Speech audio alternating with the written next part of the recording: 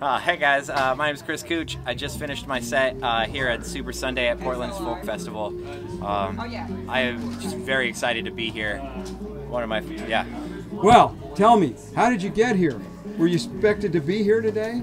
Uh, yeah, uh, I was actually uh, scheduled to be on the on the Saturday that got canceled due to the ice storm, and uh, I have to say I'm just endlessly grateful that they decided to continue going for it. When somebody has a dream and they have a plan to to make it happen, like that's my favorite thing in the world. And then to see them go through adversity and then step up and make this sort of day happen, that's uh, that's just what kind of the things I live for. So well, let's give Sarah and Scott a big hand yeah, right absolutely. here, a standing ovation from yeah. each of us. So, what are your dreams for the coming year?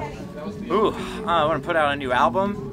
I want to, uh, or at least record it. I want to spread out and play in new places with uh, people I respect.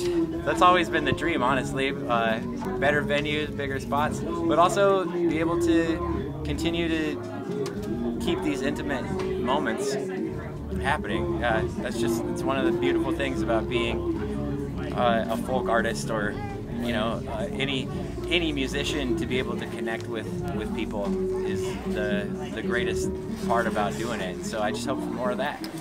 So Chris, you're from Portland, Oregon? I'm actually from Eastern Oregon. I grew up right on the border of Idaho. I've lived in Portland since 2005 though. Well, does that put you in Ontario, Oregon? Uh, yeah.